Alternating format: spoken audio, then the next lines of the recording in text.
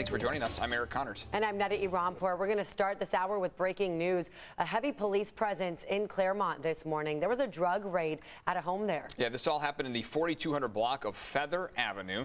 And News 8's Chris Groh is live at the scene. We just saw the images from Chopper 8. Big police presence there.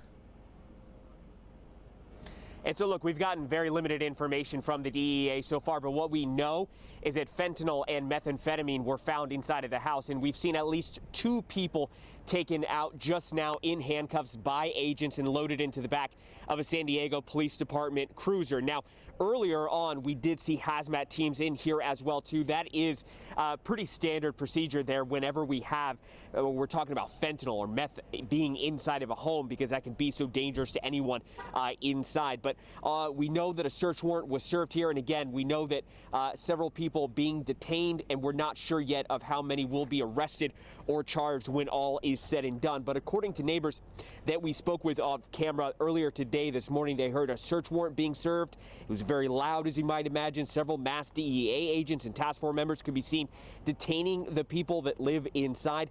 Uh, those connected to the operation, we're told, will likely be formally arrested again. While they couldn't tell us much more, one of those neighbors we spoke to off camera says they're not surprised this happened. They didn't know the people well, but suspected something was wrong. A DEA spokesperson told us meth is a rising problem in San Diego. I can't talk about an ongoing investigation, but I can tell you that that meth is a serious problem in San Diego. It's the number one drug in San Diego right now, and that in 2019 we had over 500 overdose deaths related to methamphetamine in San Diego County alone, which is up from about 250 in 2014. So it's doubled in that amount of time. And just during that soundbite, we actually saw uh, another person being taken from behind the home in handcuffs, put again into a San Diego Police Department cruiser. But we still don't know who is being formally charged. There's a big difference between being detained and being arrested, though it does appear now we have seen several people being arrested, being placed inside of those police cruisers.